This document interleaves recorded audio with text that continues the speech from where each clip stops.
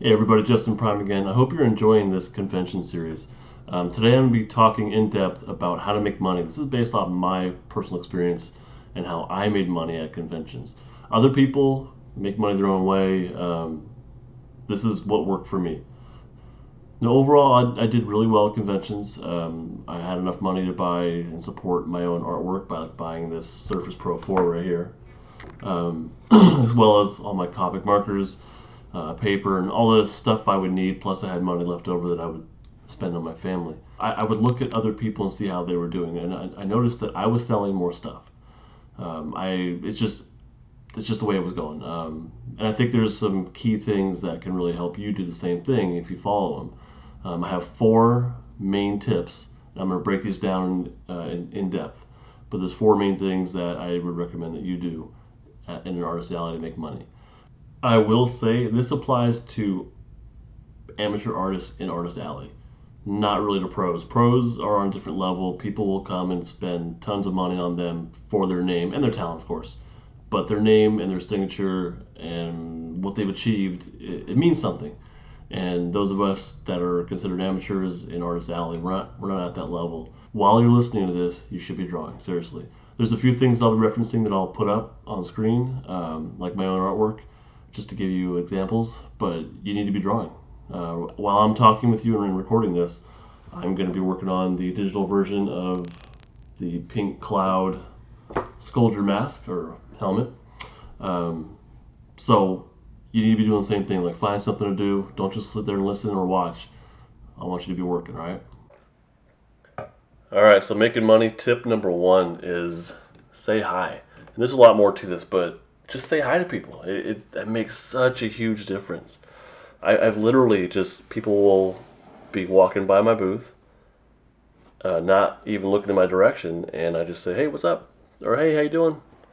Um, how you doing? You know, it's just it's, it's easy. It's really simple, and they look over, and all of a sudden they want to you know chat it up a little bit, or look at my portfolio, or just look at the display stuff that I have out um, but I've, I've made a bunch of sales just from saying hi to people that, uh, well, to every, I say hi to everyone really.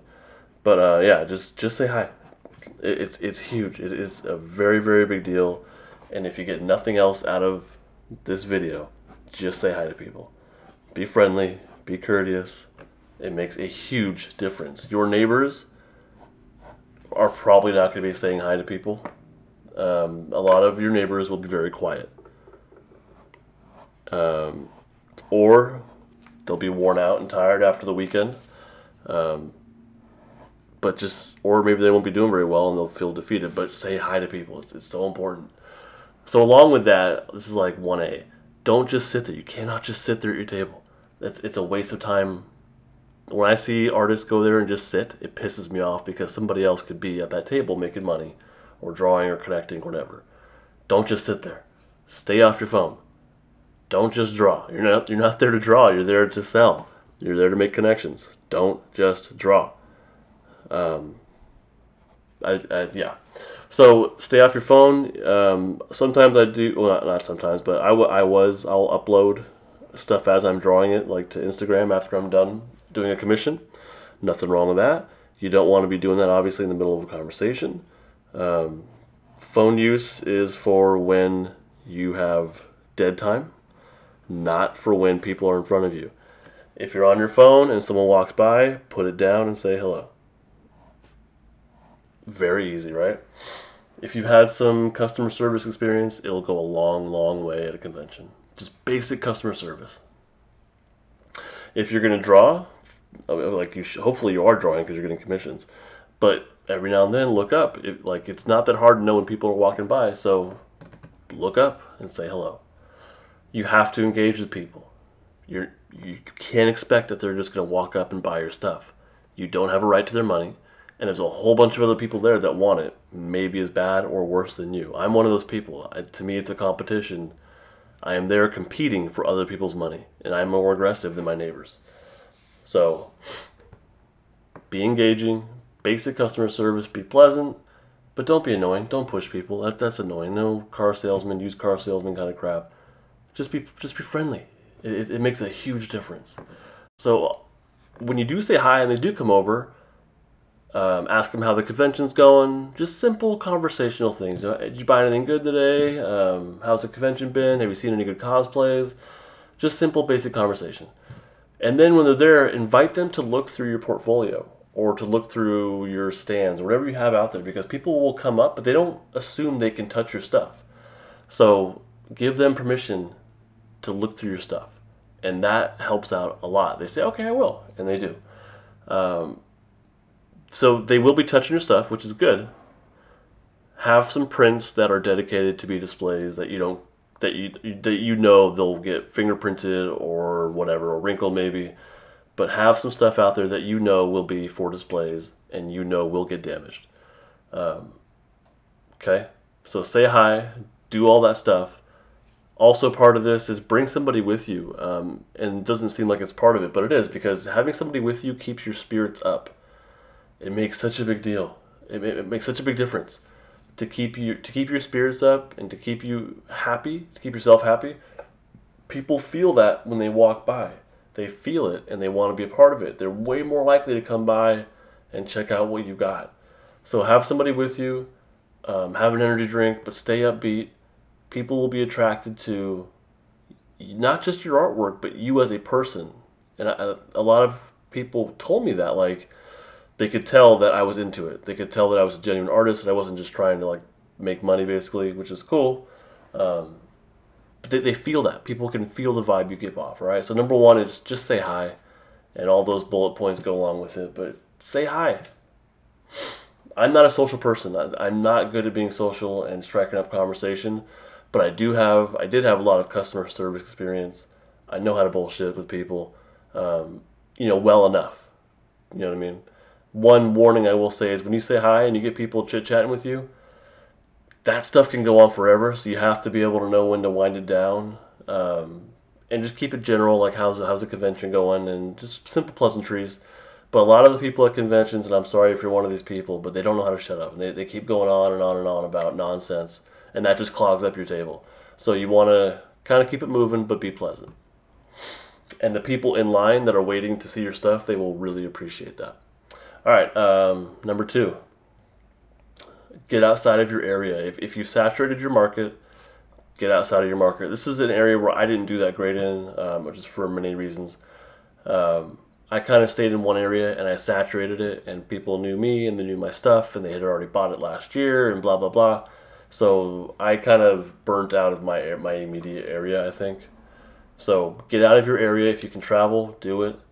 Um, and then also, if you can't travel and you keep doing the same conventions over and over again, be making sure that you're creating new content. People, if they like you, they'll come back. Uh, make sure you're creating new content and continually improving your skill. Uh, so you have something new to show them. All right. Number three, the third way to make money based on my own experience uh, draw for you first and then sell that. So people do this differently. Some people will. Well, I'll, I'll go into that in a second. But basically, the way I work is I draw for me. I draw for me. Like I want to make myself laugh or creep myself out when I draw something. I draw for me. And once I'm happy with it, that, that tells me, okay, somebody else might like this too. And then it would be worth selling. I don't draw based on making money. There have been times where I've attempted that and it failed miserably. Um, like this print right here, the the Rey and Chewie one. I drew this when Star Wars Episode Seven came out um, because I thought it'd be popular, and I don't think I sold a single one. I think it was you can feel it, my heart wasn't into it.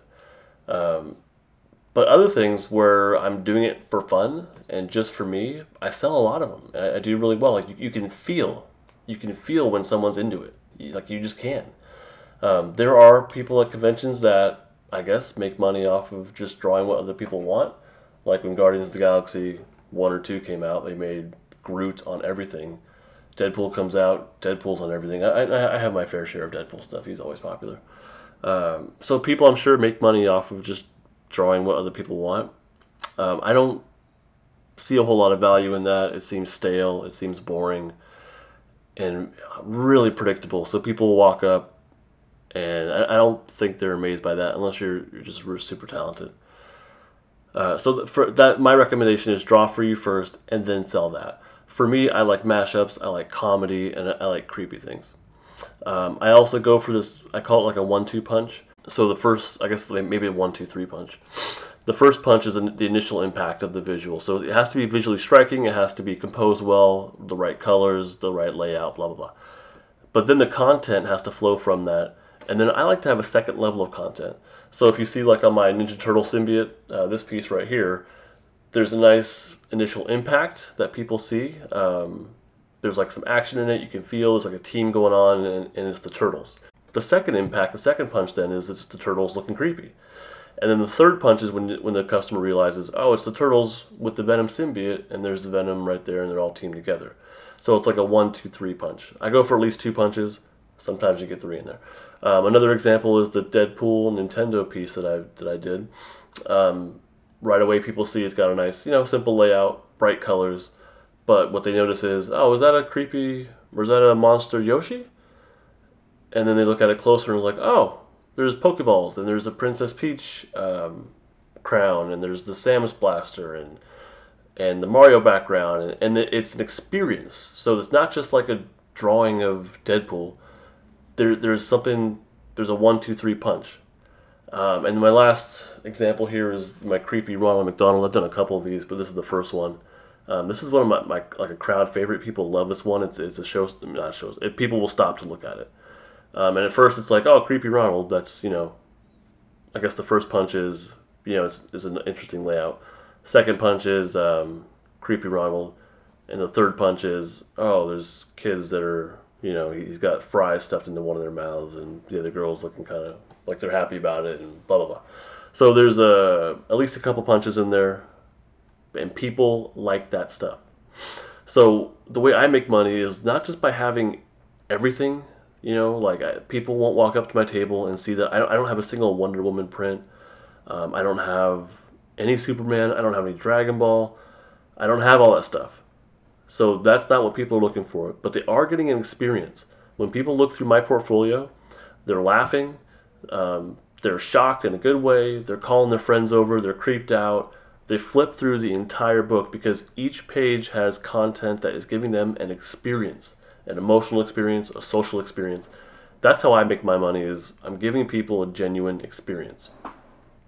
They have a lot of fun. I mean, I love watching people flip through my portfolio. It's a lot of fun. Um, other, so like I said, people will sell what's popular. You know, Star Wars Episode 8 comes out, people are gonna be buying stuff for that. You know, that's not my style, but I'm sure people are making money that way. Um, as long as your style and you know your um, content is good enough and not just because it's Star Wars Episode 8 or whatever. Um, Spider-Man, people, everyone's drawn Spider-Man Homecoming, I'm sure.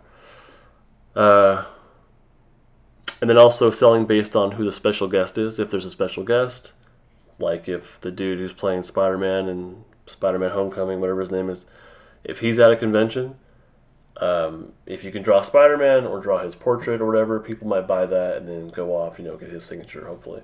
So buying or making art, you know, prints based on stuff like that, it might be popular. That's not my style, but whatever.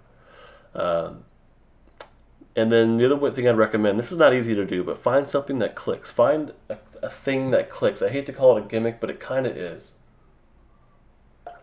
Again, this is not something that I would do. Um, I find it monotonous. I get bored doing something over and over again, typically. Um, but you know, this this might be your thing. So finding a thing that clicks. There's a guy who I talked to and I really want to interview. Um, he does this thing called Hand Over the Hero, uh, and he it's it's basically like a you know a character being uh, handed over by another character. So all you see is the character in like a chibi style, and the hands that are holding it you don't see the full body, you just see the hands. So it's like Spider-Man, chibi style, being handed over by Iron Man. So it's a cute idea, it's fun, and his execution is pretty solid. So when people walk over it, it's like they see the cute idea, it's a fun idea, and he's a great salesman.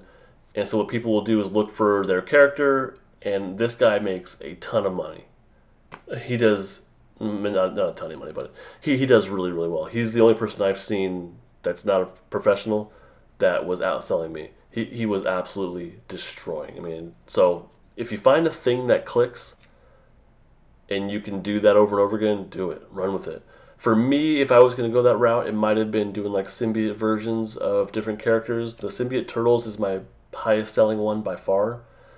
Um, so I, I might have done that. But what I did try to do was I tried to do a symbiote Megatron, and I did a, a separate symbiote Leonardo, and those didn't sell at all. Um, probably because I wasn't feeling it. Um, and people people might have been able to, to feel the, the symbiote Megatron. I wasn't feeling it. I just kind of did it.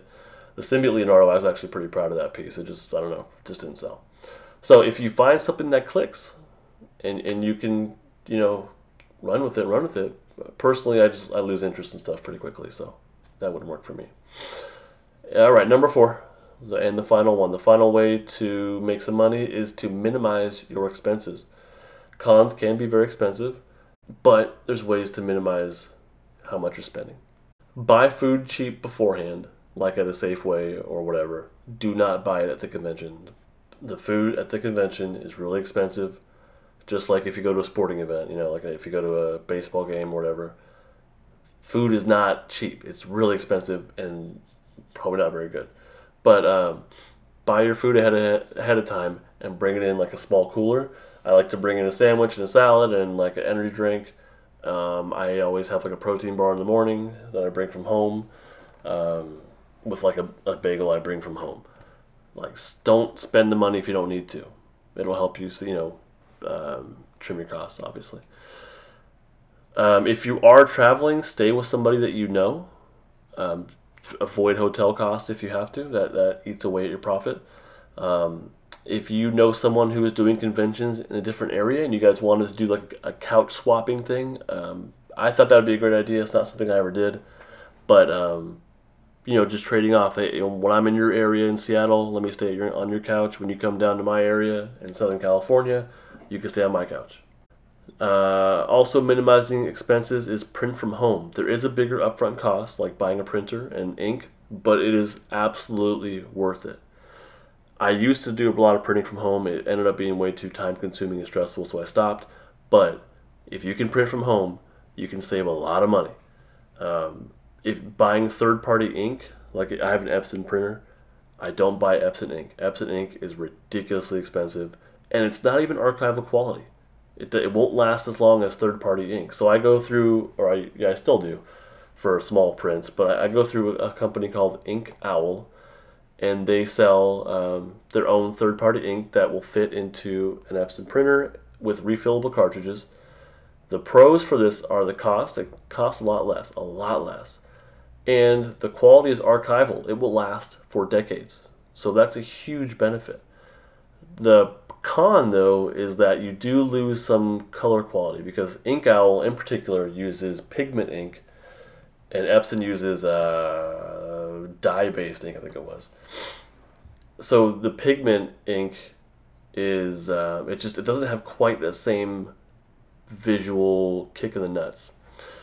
Uh, you just I'm there are other third-party inks out there that really kind of have a closer match in um, in color, you know, kick in the nuttiness, but you might lose the archival. So it's kind of a you know trade-off. Uh, buying paper in bulk off eBay huge bonus, and it's uh, archival if you can find the right stuff. Um, the, the con here is though that printing from home is way, way, way more stressful. That's it though. Those are my four tips in depth. If you have other ideas that have worked for you, please let me know in the comments. If you're not subscribing already, please give me a subscription. Hopefully I won you over with this video. Um, hit the like button. Ask questions. I'm, I'm happy to answer anything. Just leave them in the comments. And until next time, thank you very, very much for watching this.